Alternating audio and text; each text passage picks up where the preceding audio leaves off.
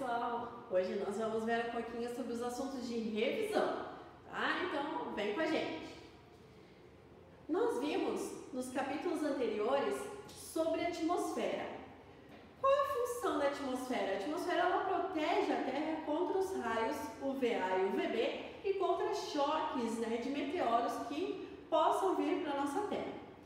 É, se eu falar para vocês que a Terra né, nem sempre foi igual, né, então a gente tem que relembrar como que era a Terra primitiva. A Terra primitiva ela tinha pouco oxigênio e muito gás carbônico. Não eram, né, não existiam quase é, seres vivos, né, a gente vai falar né, somente das bactérias que resistiam né, naquela terra, eram adaptadas a isso. E hoje né, nós temos uma variabilidade de seres vivos que precisam do oxigênio que tem na atmosfera. Mas a atmosfera não é composta somente por oxigênio e gás carbônico. Né? Ela é composta por outros gases e principalmente de nitrogênio.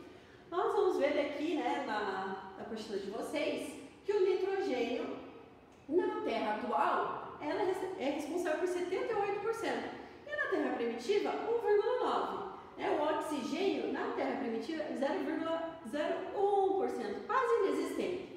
E o oxigênio 21% hoje em dia. O dióxido de carbono, ou gás carbônico, ele tinha na Terra primitiva 98%. E hoje em dia 0,03%. E os outros gases, né, 0,1%. Quais são os outros gases? É, como metano, como os gases nobres de hélio, tá? Hoje em dia tem 10%.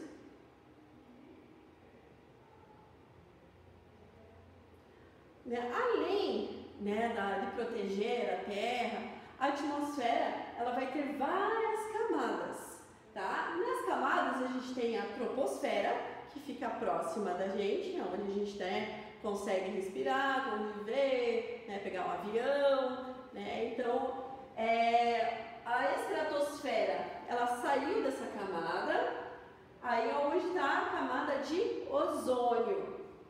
Camada de ozônio é a camada protetora dos raios solares. Mesosfera, onde ele vai ter a proteção contra a chuva de meteoros, termosfera, onde vai ter algumas, né, alguns satélites que vão observar a Terra, e exosfera é uma camada que é muito, muito longa, e aí essa camada a gente não tem ainda noção de quanto que ela fica ainda para fora no espaço. A atmosfera, ela exerce uma pressão sobre os seres vivos. É, a gente consegue ver essa pressão quando a gente vai né, viajar, está descendo a serra, por exemplo, começa a doer o ouvido. É, essa pressão exercida pela atmosfera. Nós temos um exemplo aqui da atividade sobre a pressão atmosférica, tá? Só para relembrar um pouquinho, eu gosto de fazer um esquema, acho que vocês lembram, né? Então aqui, quanto maior a altitude, menor a pressão e menor a quantidade de oxigênio, tá? Então, toda vez que o lugar for muito alto, a pressão vai ser menor e a quantidade de oxigênio menor. Quando um lugar é mais baixo, tem uma altitude mais baixa, a pressão é maior e o oxigênio também vai ser maior tá? E aí lá, né, no, material de vocês, tem a cidade A e a cidade B. A cidade A é montanhosa, a cidade B é litorânea. Então, olhando aqui, cidade A montanhosa, altitude maior, pressão menor e oxigênio menor. A região litorânea, altitude menor, pressão maior, oxigênio maior. Tá? Então, essa pessoa foi para um local com maior ou menor pressão atmosférica, saindo daqui, indo para cá, ela vai tá, com uma, uma pressão atmosférica maior. E aí, qual é a relação entre a altitude e a pressão atmosférica? Quanto maior a altitude, menor a pressão. É inversamente proporcional. É comum que pessoas que se desloquem em locais com altitudes diferentes apresentarem alguns sintomas. Né? Quais são esses sintomas? Dor de cabeça, náusea, ruído no ouvido. Quando a gente desce a serra ou né, o avião, quando ele vai aterrissar, às vezes, né, quando ele vai perdendo altitude, começa a doer porque a pressão vai aumentando.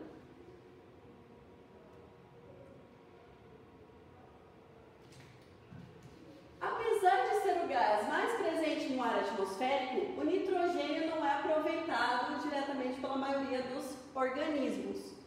Se o nitrogênio ele não é absorvido normalmente pela gente, ele precisa de algo para poder absorver esse nitrogênio, né? As plantas elas precisam de algo para poder absorver. Né? Então, relembrando, são as bactérias que ficam nas raízes das plantas que vão transformar lá a amônia em nitrito e depois em nitrato.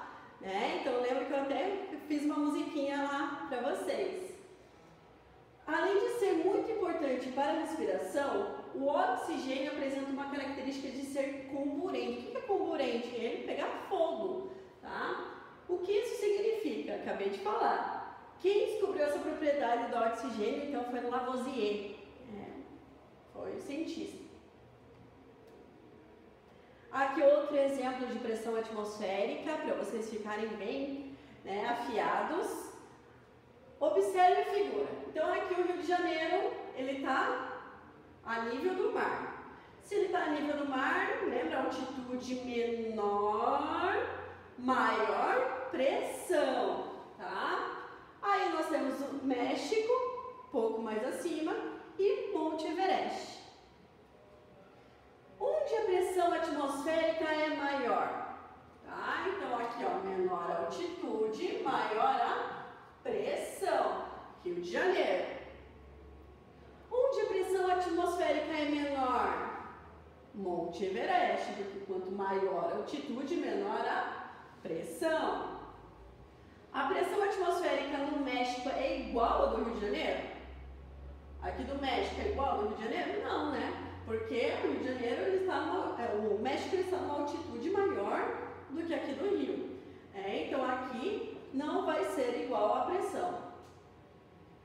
Caso uma pessoa decida subir até o topo do Monte Everest, ela terá dificuldade para respirar? Né? Então, relembrando, maior altitude, maior a pressão, menor a pressão e menor a quantidade de oxigênio. Né? Então, com certeza, ela vai ter dificuldade para respirar. Ok, pessoal? Muito obrigada!